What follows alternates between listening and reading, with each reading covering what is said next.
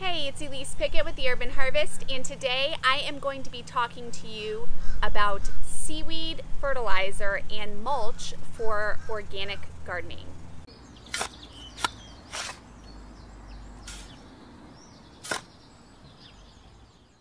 If you've been looking into organic fertilizers or different materials to amend your raised bed gardens with, you may have come across kelp or kelp meal. And it is an absolutely wonderful soil amendment to use for organic gardening. But what most people may not connect the dots on is kelp is seaweed. And since we are Florida gardeners um, growing food in Florida, we are very lucky to have seaweed right in our own backyards. So what I did was go to the beach last week and I collected a bunch of seagrass. Put it into some totes and brought it home. I'd rinse it and I've let it dry out for a few days. I'm gonna go through that process for you in more detail, but this is going to be used as mulch and as seaweed fertilizer for my garden beds over the summer months. Why use seaweed as a fertilizer and mulch besides the fact that you can collect it for free? seaweed is really high in micronutrients.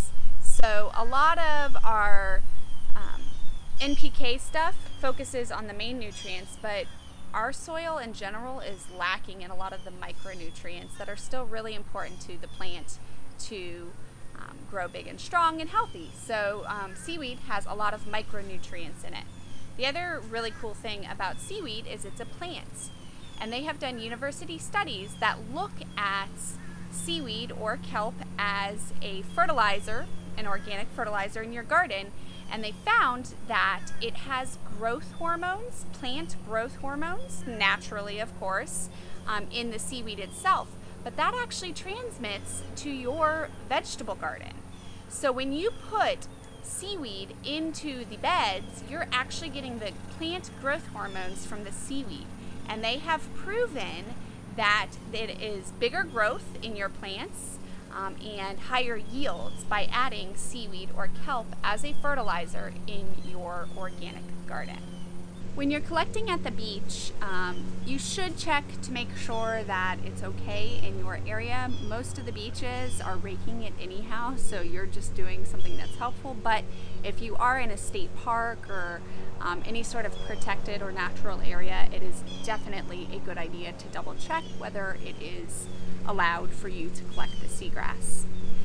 One of the downfalls of this, and it's sad to say, is all of the trash that you're going to find uh, mixed in, and that's unfortunately just shows you the state of our waterways. I try to collect it at the beach itself and dump it in the trash can there. Definitely do another thorough check as I'm adding it to the garden bed to make sure that I pull all of that out and dispose of it. Um, ideally, you wouldn't want any of that in the garden bed. After you've collected the seaweed from the beach, um, it is time to rinse it. Now this step is optional. Uh, I usually do. It has been so dry this year though. Normally when I collect it, I just let rain do it for me. I'll put it in the corner of the garden or the yard for a few days, wait for a good rain to rinse it out for me, and then I'll add it to the beds. It has been so dry this year that I can't rely on the rain. So I am hosing it off and it just gets some of the extra sand and salt out of there if you're only doing this as an occasional amendment or once a year mulch type of thing, it's not really too concerning, even though there is some salt that will be in the seaweed. You can add it directly to the beds. I'm just giving it a good rinse. If you want, if it's a thick um, bucket or anything like that, kind of toss it around just a little bit. What you're trying to do is get all of that sand and a little bit of that extra salt to drain and rinse away. If you're doing it in a bucket, make sure you're pouring the water off and rinsing again um, just because it will build up in the water if it's just kind of pooling in there. So now you've collected your seagrass from the beach, you've rinsed it real good.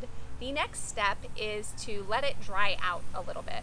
Again, this is technically optional, but it just gives you a better picture of how thick or how deep the seaweed is actually going to be in your garden bed if you give it a day or two to dry out in the sun. Now this bin was completely full to the brim, even overflowing a little bit when I collected it from the beach when it was wet. Now that it's dried, you can see how much it's compressed once all of that extra moisture um, left the seagrass. So this gives me a better idea or a better picture of how much I'm actually putting into the garden beds. Kind of think about it like the grass clippings if you mow your lawn. Um, if you don't bag the grass clippings, you, it starts out as a big pile, but within sometimes half a day, maybe a day, it kind of fizzles away to nothing. It's the same with the seaweed. So I like to leave mine sit out a day or two just so that I know that I'm getting a nice thick layer on the beds. If you choose to go directly to the beds after you rinse it, that's totally fine. I would just go more than what you think you need. So if your goal is four inches of seaweed after you're done adding it, maybe shoot for closer to six if you're adding it to your beds wet. Now it's time to add it to your garden bed. You are ideally, if you're using the seaweed mulch, more than the seaweed fertilizer. Um, for a good mulch layer, you want at least four inches of mulch. So that would be ideal, but it is a lot of seaweed to collect. So if you're using it more for a seaweed fertilizer rather than the mulch, you can use it in lower quantities, but I might as well get two uses out of one process. So I like to go for it as a fertilizer and a mulch. While you're adding it to the garden beds, do make sure if you have anything planted in the beds that you leave room around the base of the plants just like you would with any other mulch material, at least an inch away from the base, if not two. And if there's anything that's low growing, make sure to lift up the plant and tuck the um, seaweed underneath it, not on top of it. So you can see here I still have quite a bit of sand left over and this was after shaking out the seaweed at the beach bringing it home, rinsing it out a bit, getting some of that washed out. And then as I was adding it to the bed, I was shaking it one more time and I did end up with this much sand after all of those steps. Now, if this is like a total one-off thing, having a little bit of sand in the garden bed is not a big deal at all. But if you use this on a regular basis, you probably don't want sand just because it doesn't trap nutrients and moisture very well. So you don't want too much sand in your garden bed. I filled this raised bed garden with seaweed, fertilizer, and mulch two weeks ago. It was full to the brim. And you can see even after all of the steps that I've mentioned doing here, it has settled quite a bit. So if you are going to use seaweed or kelp as a covering on your soil, don't skimp. Go way more than you think you need because it will settle. Using seaweed, fertilizer, and mulch in a Florida vegetable garden is an absolute no-brainer. It is a free resource that is really helpful to the soil and the plants.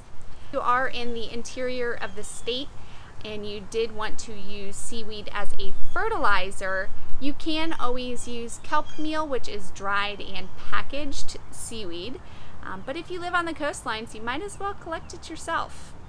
If you're interested in the kelp meal dried, I do have a link for that below in the show notes, so you can head on there and purchase it via Amazon. When you purchase through those links, it does help support the work that I do here on the channel at no additional cost to you and is greatly appreciated. If you liked this video or want to learn more about different soil amendments or any other gardening topics, make sure to leave me a comment below. I try to work in as many of the topics that are requested as possible. Subscribe while you're down there and hit the little bell next to it so you're alerted every time a new video comes out on Florida Vegetable Gardening.